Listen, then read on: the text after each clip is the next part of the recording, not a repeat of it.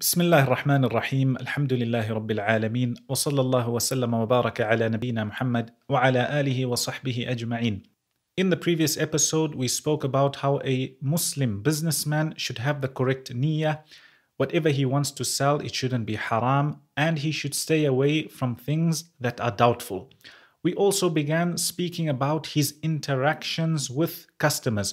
We mentioned he should be easygoing when he buys, when he sells, when he asks for that which belongs to him, or when he is paying back that which he owes.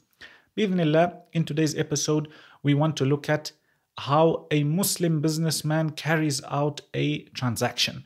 Rasulullah sallallahu alayhi wasallam says in a hadith in Sahih al-Bukhari, he says, "Al-bayyani bil khiyari ma lam yatafarraqa."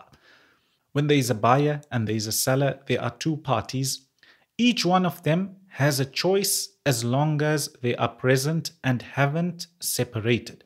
So, for example, when you go into a shop and you pick out a product, you are looking at it, you are not forced to buy it.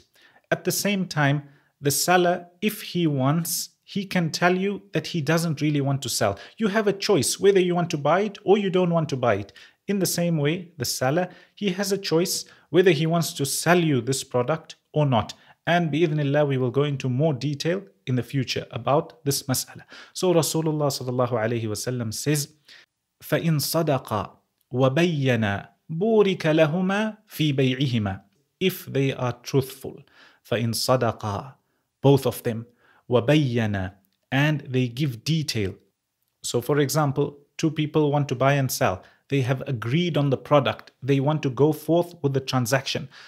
If they are truthful, so the seller says, for example, that this is a new product and he is truthful, or he says, this is an old product, wabayyana, and he explains that you know there is X, Y, and Z wrong with this product. فَإِن صَدَقَا وَبَيَّنَا Everything is clear. They are not hiding anything. بُورِكَ لَهُمَا فِي بَيْعِهِمَا This transaction will have barakah in it. It will be blessed there will be blessings from Allah subhanahu wa ta'ala in this transaction. The person earning the halal wealth, the seller, bi'idhnillah, he will have that which is blessed. The one taking the product, this product will be blessed. Rasulullah sallallahu alayhi wasallam then says, وَإِن كَذَبَ وَكَتَمَ If they had to lie to each other. So the seller says that this is a new product and it's an old product. Or he is hiding an aib, some sort of defect, there is something wrong with this product, but he is hiding it. Or the buyer, he says that he will pay on time or tomorrow, and he doesn't end up paying. وَإِن كَذَبَ وَكَتَمَ And they hide things.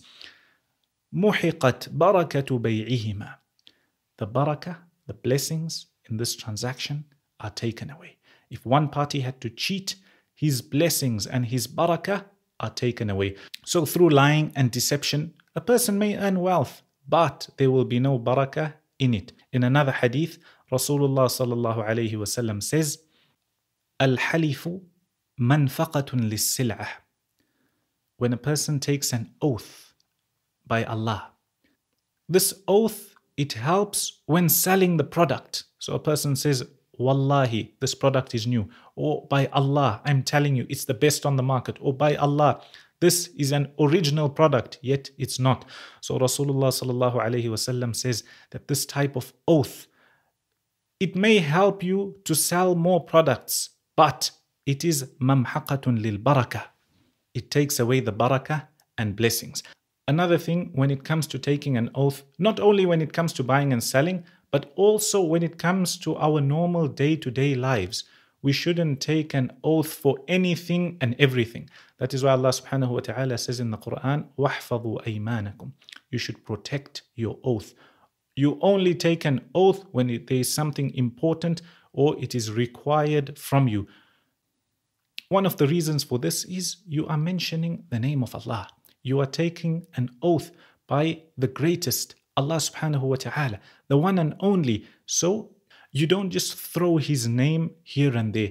And on top of it, you don't lie when taking an oath by Allah subhanahu wa ta'ala. So we mentioned that the two parties should be honest, and if there's anything wrong, it should be apparent and clear. Another important etiquette to remember for a Muslim businessman when he is dealing with customers, especially when he is giving them goods on credit or you are giving money and the person has to pay back later, it is extremely important to write down your transactions.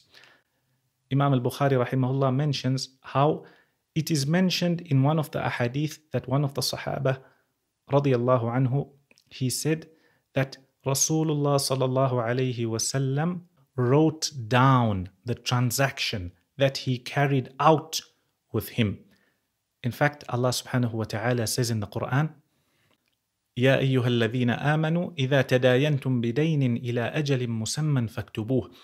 Basically, when you are dealing, transacting, you've given out a loan or you've given something and it has to be paid over time. Allah says, فاكتبوه. You should write it down. In the same verse, he says, وَلَا تَسْأَمُوا أَن تَكْتُبُوهُ صَغِيرًا أَوْ كَبِيرًا إِلَى أَجَلِهِ Basically, you shouldn't feel lazy when writing down these things. Even if they are small or big, still, you should write them down. Why? It prevents problems and it prevents fights and arguments in the future. And as we mentioned before, the longest verse in the Quran is speaking about this, is speaking about debt, is speaking about writing down your transactions. And this shows its importance. Sometimes people feel offended when you want to write down a transaction that you have to pay over time. They utter statements such as, Oh, do you not trust me? And they take it as an offense. One of the easiest ways of avoiding this is to mention to them that this is what Allah and His Messenger have ordered us to do, I personally, it's not because I don't trust you or it's not because I have doubt. No, I fully trust you, but I also want to follow the order of Allah and His Messenger because I want to earn a reward. And you also will earn a reward bi'idhnillah. Inshallah, in the coming episodes, we will mention some of the other ahadith that are in Kitab al Buyu'. We will also mention a few masail to do with uh, buying and selling. For example, is a businessman, a Muslim businessman, allowed to make 100% profit?